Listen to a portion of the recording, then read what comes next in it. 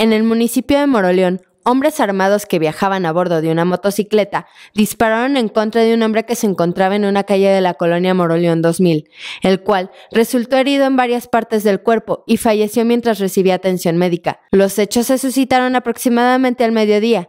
Vecinos del sitio realizaron el reporte al sistema de emergencias 911, alertando que sobre la calle Diamante frente al número 13 de la colonia citada, un hombre habría sido agredido a balazos. De inmediato, patrulleros y paramédicos atendieron el reporte local localizando en la acera a un hombre que fue identificado como el güero, quien habría sido lesionado por proyectil de arma de fuego. Los paramédicos trataron de brindar los auxilios médicos necesarios, trasladando a la persona al hospital. En el lugar, los vecinos refirieron que los atacantes del hombre llegaron y huyeron a bordo de una motocicleta. La escena del crimen fue acordonada mientras los peritos del Ministerio Público hacían la recolección de evidencias y encontraron varios casquillos percutidos. Sin embargo, no se informaron de qué calibre.